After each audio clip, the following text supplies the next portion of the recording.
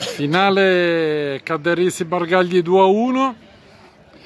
Oggi unplan di tutto lo staff del Caderisi. Abbiamo con noi Alfeo Scala il presidentissimo che è una, è una chicca, non si fa mai intervistare, oggi è, è particolarmente felice.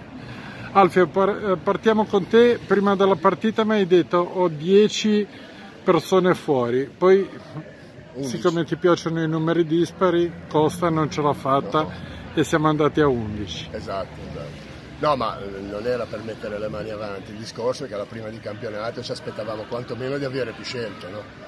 Così comunque non ho avuto l'opportunità di sbagliare, quelli che avevo eh, li ho messi in campo, quindi è andata bene così.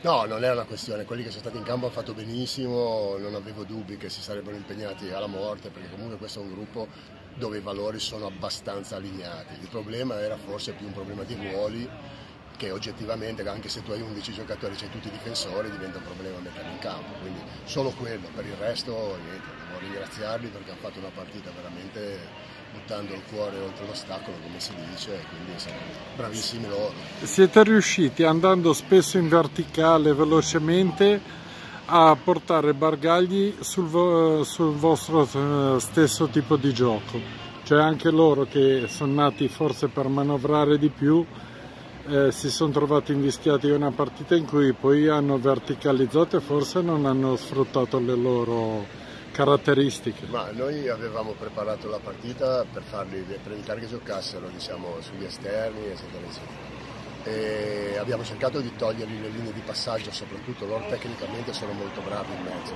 però abbiamo fatto densità, abbiamo portato un giocatore in più giocando col trequartista in mezzo al campo e chiaramente ristringendoci gli spazi loro hanno trovato molta difficoltà. Poi noi quando ripartiamo anche sulle palle lunghe attacchiamo la seconda palla, quindi insomma possiamo mettere in difficoltà qualunque squadra sulle ripartenze. Quindi il motivo della partita è stata questa. Loro, ripeto, sono molto bravi tecnicamente e noi abbiamo cercato di così, ostacolargli e ostacolargli quelle che sono le loro qualità. Il presidentissimo Graffione invece ci può raccontare come mai alla prima giornata di campionato così tanto nervosismo? Sarà l'affluenza del pubblico? Sì, può darsi, troppa gente presente sugli spalti.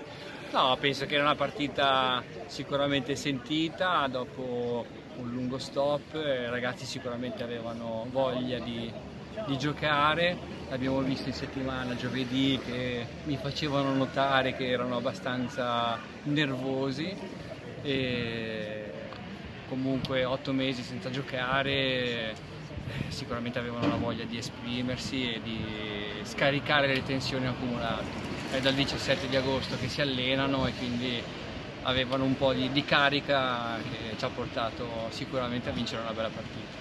Perfetto, fino alla, pro, alla, prima di ritorno non ti intervisto più. Eh. L'ultima del, dell'anno di ritorno, se la giocheremo.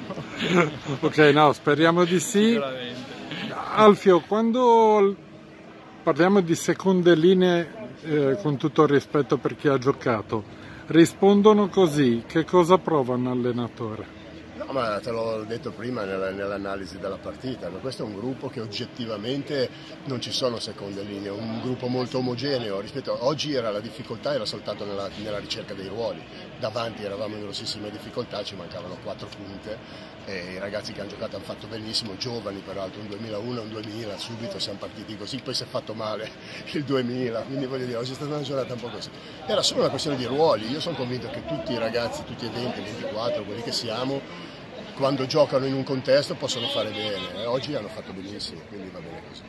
Ok, grazie mille, grazie, Forza grazie Accade. Grazie, grazie.